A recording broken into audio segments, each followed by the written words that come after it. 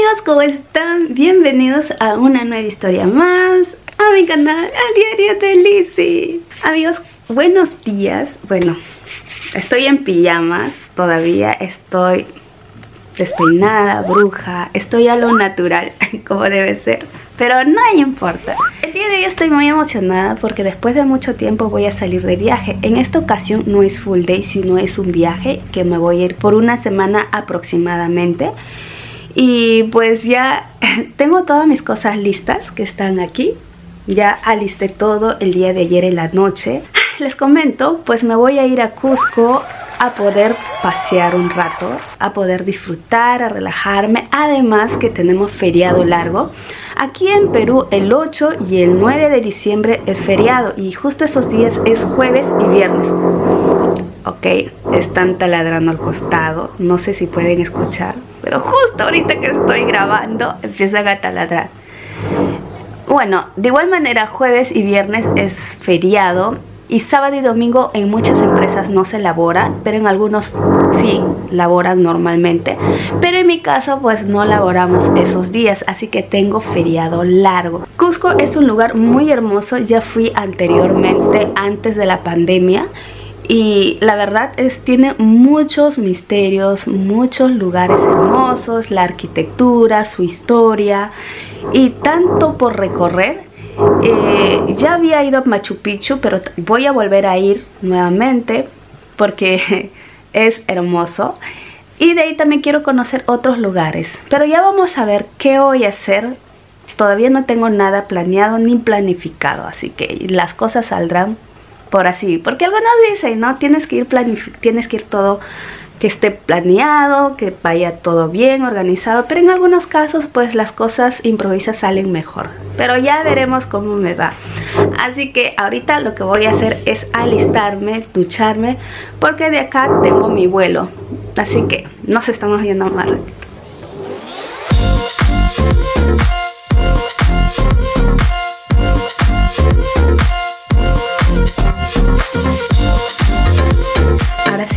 ya estoy lista para partir. Tengo mi maleta, tengo mi mochila, tengo mi neceser, mi casaca. Vámonos por una nueva aventura. Listo, ya estoy en el aeropuerto. Ya acabo de ingresar. Ahorita estoy yendo a la puerta 7 para poder encontrarme con la persona que voy a ir de viaje.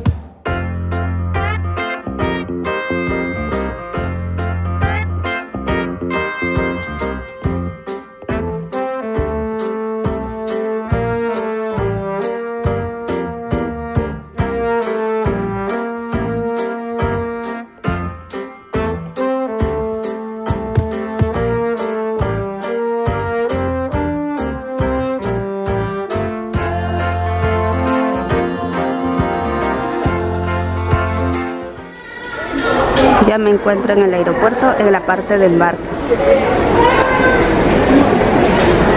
Solamente estamos esperando que llegue la hora de poder subir al avión y ya listos para irnos a Cusco.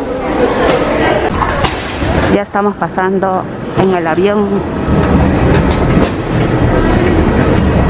Y nos vamos. Una hora después y ya aterrizamos y nos encontramos en Cusco. Ahora sí, vamos a bajar.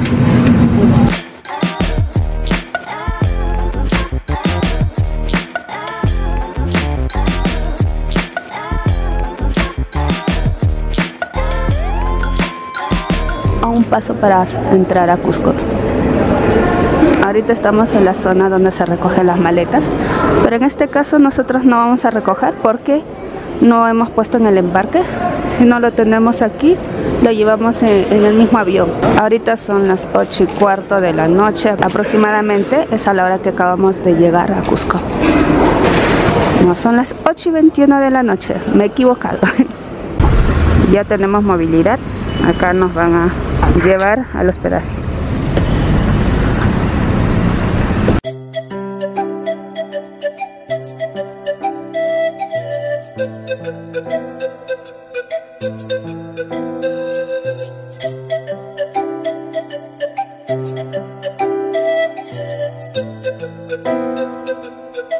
Acabamos de llegar al hospedaje y pues esta es nuestras camas. Bueno, ya hemos tirado todas las cosas porque la verdad es un poco complicado subir y grabar con todos los equipajes. Pero esta es la cama, se ve cómodo. Se ve cómodo, tiene su... Acá tiene doble... ¡Ay, qué rico! Tiene acá este como polar. Son dos camas, son amplias. Tiene acá su sofá. Tiene su mesita para poder trabajar o hacer comer o algo. Acá tiene su, mini cocina. Tiene una hervidora. Tiene su cocina. Tiene su frigobar. También tiene utensilios. Cuando uno tiene frío, pues se prepara su cafecito. Está perfecto. Y por último, el baño. Aquí está el baño, su lavamanos, el inodoro, la ducha. Y pues esperemos que tenga terma, porque con agua helada no me bañaría. Y aquí está ya. Y listo. Ahora lo que vamos a hacer es salir un ratito a buscar comida para poder cenar. Vamos a cenar, en mi caso yo quiero cenar un caldito, eh, si no es de cabeza de cordero, un patasca que me va a caer súper. Acabamos de salir del hospedaje y ahorita estamos caminando por las calles de Cusco. Estamos yendo a buscar nuestro caldo de mote. La cosa es que vamos a buscar nuestro caldito calientito para poder calentarnos. Estamos llegando a la catedral de Cusco, que es en sí la plaza central. Y como ya estamos fiestas navideñas, todo está decorado con luces navideñas, se ve muy bonito.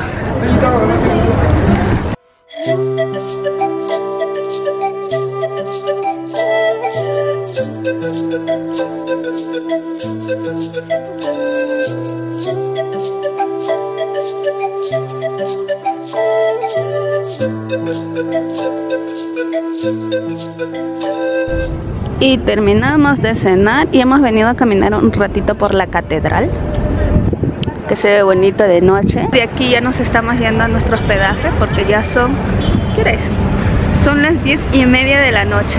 Así que vamos a caminar un ratito alrededor y nos vamos a nuestro hospedaje.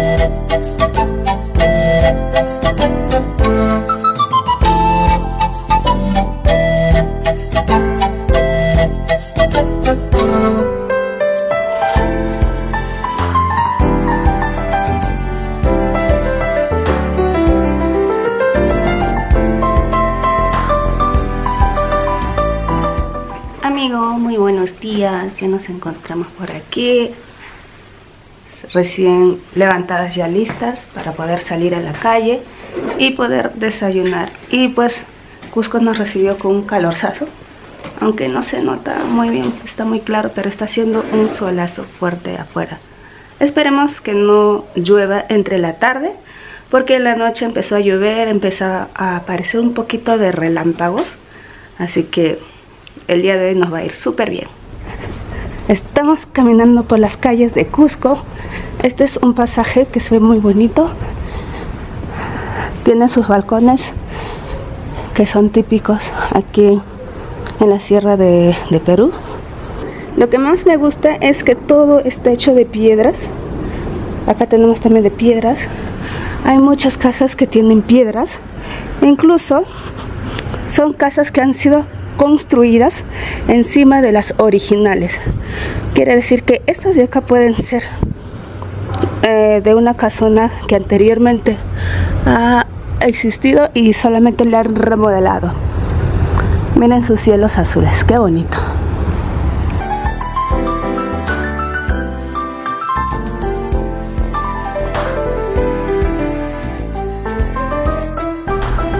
Acabamos de ingresar a un restaurante que está casi frente nada más al, a la catedral de Cusco. Y pues estos son lo que hay los desayunos. Pues nos acabamos de pasar por el balcón para estar con este paisaje bonito.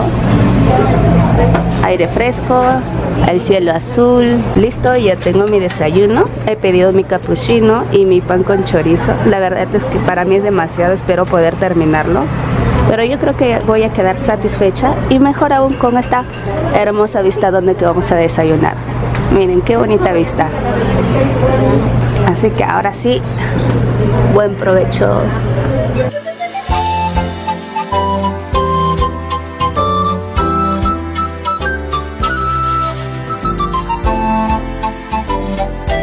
Listo, el taxi ya nos dejó acá nada más. Este es el ingreso a Kenko, en esta casetita. Pero lo que yo quiero ir es allá. Eh, por ahí está el bosque de los eucaliptos. Estamos viendo si ingresar primerito a Kenko o irnos al bosque del eucalipto, que se ve muy bonito. Bueno, al final no ingresamos a la zona arqueológica porque se tiene que comprar un paquete completo donde incluye Sacsayhuamán, Kenko, Pucapucará y muchos lugares más. Así que decidimos venir ya de una vez al bosque del eucalipto. Y bueno, aquí vamos a caminar un rato porque se ven bonitos los árboles. Árboles que son hasta ribote. Ah, ok, este de aquí es Kenko Chico y contempla todo el bosque de los eucaliptos. No sé si es bosque del eucalipto o bosque de los eucaliptos. Ya me informaré más adelante.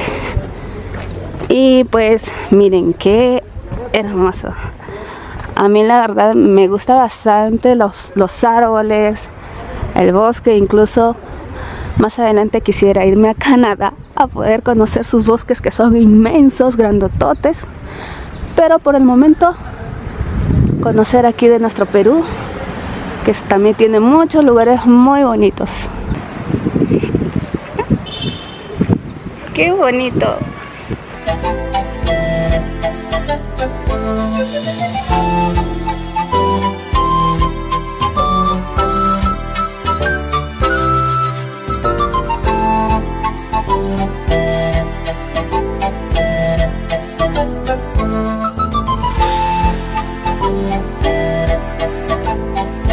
Como buenas aventureras nos subimos a un bus, más que todo para ahorrar y economizar.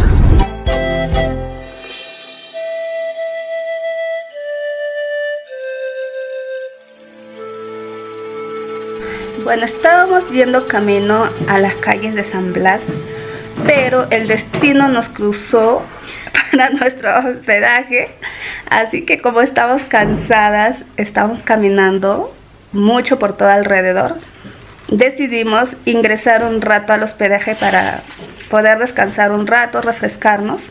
Y de aquí, luego de aquí vamos a salir para ir a almorzar porque son las 12 y cuarto del mediodía, así que todavía nos queda tiempo. Pues hemos venido al mercado de San Blas, así que he pedido de entrada crema de maíz, que ha venido con su perejil y algunas partes de queso que ya le he revuelto. Acabo de probarlo y sí está rico, tiene el sabor cusqueño, como es lo que yo buscaba. Pues y de segundo tenemos matasquita de carne, solo que tiene parecido como picante de carne de lima, es casi igual. Igual creo que solo cambia el nombre. Así que bueno, buen provecho. Pues en el mercado San Blas vienen bastantes turistas a almorzar. O sea, y uno quiere irse a un restaurante ficho. y pues hemos llegado a eso de la 1 y 37 y ya no había muchas opciones. Se han terminado rápido los menús porque como digo había bastantes turistas comiendo por diferentes lados y tuvimos que comer lo que había nada más. Bueno, en esta ocasión ya salimos del hospedaje y en vez de ir a San Blas decidimos venir a lo que es el mirador San Cristóbal que está en la parte de arriba y por este lado izquierdo está la calle Siete Borreguitos que es muy conocido. Acá tenemos la calle Siete Borreguitos que es muy conocido, muy pintoresco. Miren, tienen lo que son sus macetas, sus casas color pintadas. Incluso los postes están pintados. Qué bonito. Colibrí picando las flores.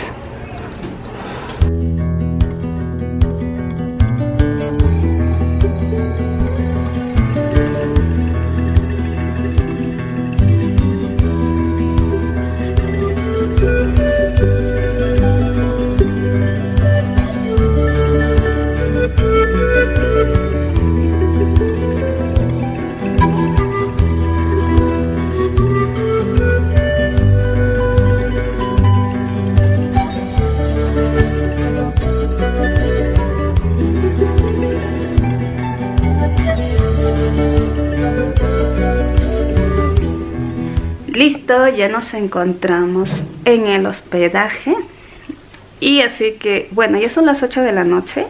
Lo que voy a hacer es alistar todas mis cosas, dejar todo listo para el día de mañana salir temprano. Vamos a salir 4 y media de la mañana de aquí, que nos van a venir a recoger para ir a la montaña de siete colores. Así que es hora de dormir temprano. Buenos días amigos, por aquí son las 3 de la mañana.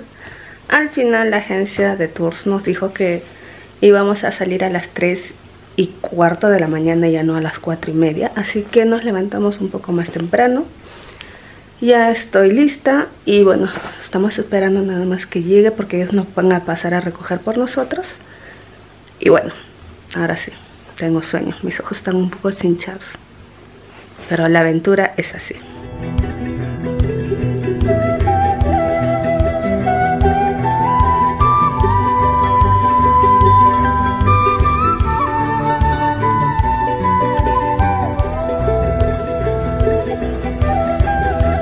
Acabamos de hacer una parada para poder desayunar. Y pues aquí están todos la gente y el desayuno está adelante. Es autoservicio así que es hora de desayunar.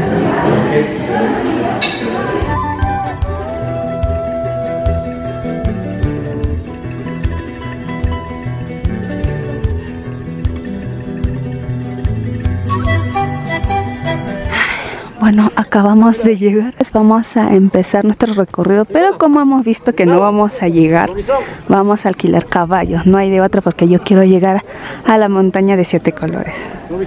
Así que toca cabalgar. Lo siento, fallé.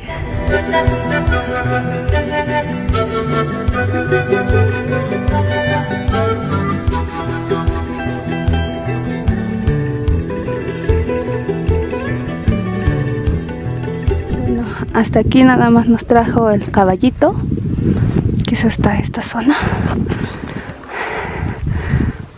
Todo lo que se tuvo que caminar el pobre caballo. Caminando se hace una hora y media y al costado se ven los nevados.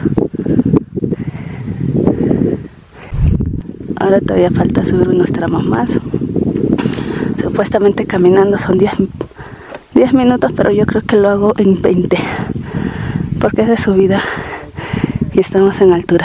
5000 a 5100 metros sobre el nivel del mar. Así que vamos por ello. Y después de tanta caminata que mis manos están temblando todavía. Llegamos a la montaña de siete colores. Se ve muy bonito. Además el aire aquí es heladita. ¿por qué? porque está un nevado, acá se ve, se ve poco, pero está el nevado que cubre todo por esta zona. Pero lo importante es que llegamos a la montaña de siete colores y se ve muy bonito.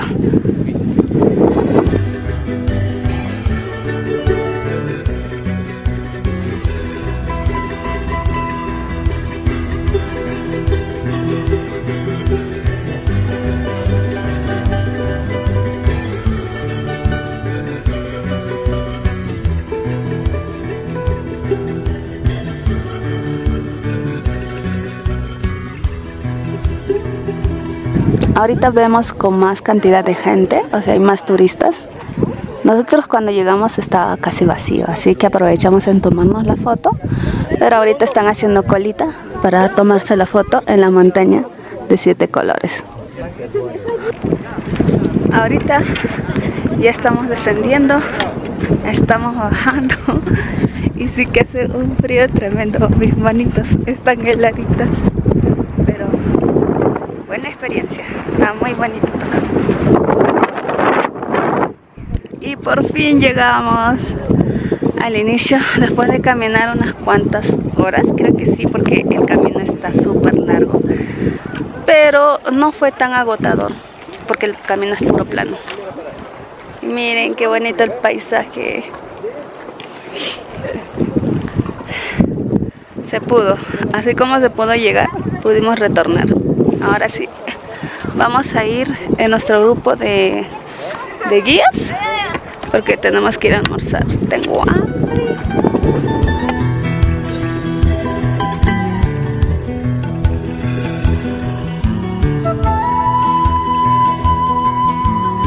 Y llegamos al, al lugar donde vamos a almorzar.